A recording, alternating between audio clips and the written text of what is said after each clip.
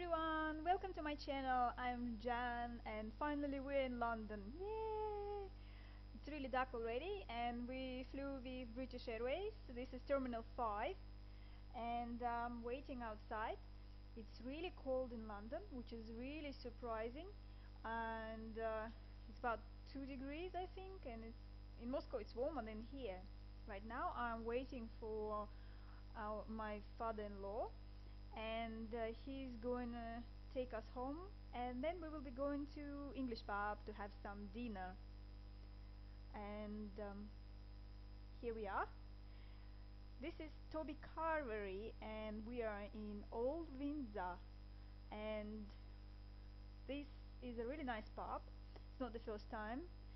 And uh, food is really nice and not very expensive but uh, tonight it's just packed. It's absolutely packed lots of people even if it's the middle of the week. So um, we didn't really want to wait for an hour before they will serve us so we decided to go to different pub. And um, here we're on the way not too far. But hopefully we ain't gonna have so many people again and we can have our dinner finally. Here's the other pub.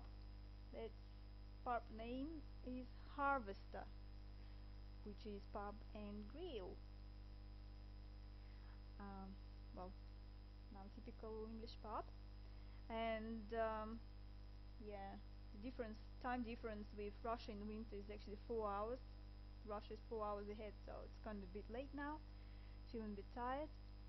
Here we are inside and while we're waiting for our food I decided to make a small video walk around while everybody's eating and not noticing me with this camera which is nice. Nobody noticing me. It's quite it's quite nice. I quite like this pub. The first time I'm in this pub and I uh, quite like it. Looks nice. Okay and finally this is my dinner.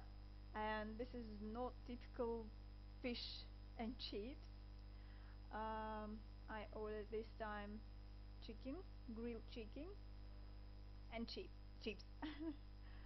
And uh, that's it. I'm going to enjoy my meal.